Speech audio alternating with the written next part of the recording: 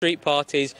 You know what else is a great British tradition? A great British tradition is, of course, the weather. We're starting to get a little bit of rain. It's starting to pack down a little bit here in Lichfield Close in Grantham. But do you know what? I've managed to use my powers of persuasion and I've started to get a few people to stick around for me. One of the people that I have met who is still here is, of course, Janet. Janet, I've already spoken to you a little bit today, but um, we were having a little bit of a chat about what makes this so special for you. And you've got lots of memories about different jubilees and different parties. Yeah. What do you remember from as far back as you can go in your memories? Well, I mean, I, I don't remember, but I was born four days before the coronation of King George VI.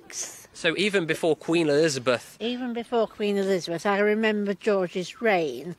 Um, and I remember, of course, him dying and our Queen becoming Queen while she was in South Africa at the age of, I think, 26 or something like that. And I remember a coronation. I was by then 16 years old and I was in Kent with my aunt, uh, was, uh, um, and my parents and my aunt and uncle and cousins, and a whole host of neighbours because my aunt was probably the first person in the street to have a television. And so it was a great thrill to watch the coronation on the television. I think it was probably the very first time I'd ever seen anything on a television. It's incredible to hear these sorts of memories, but you've made memories today. What's it been like this street party in Lichfield Well, Close? this has been a wonderful street party. Um, I've been surrounded by my family and friends and the neighbours of, of my son Clive and Bev, uh, some of whom I knew and some of whom I know quite a lot better now. Uh, and it's been a wonderful, happy occasion.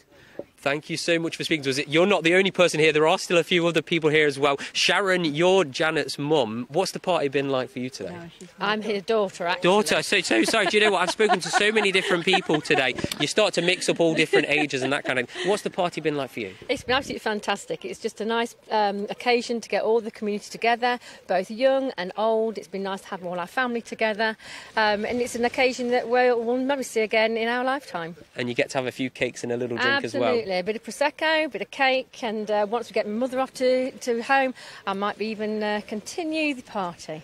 Well, I think I'll be sticking around for a little bit longer. There's some trifle just there that our fantastic guy Clive made earlier. You might be able to remember. A few people have had a go at it, and I'm going to have a go in just a few moments, and I'll get some prosecco as well. It is starting to rain. We're expecting rain tomorrow as well, um, but I think a few seasoned drinkers, a few veterans, and a few hardcore Jubilee people are going to be partying tomorrow just as hard as they've done today.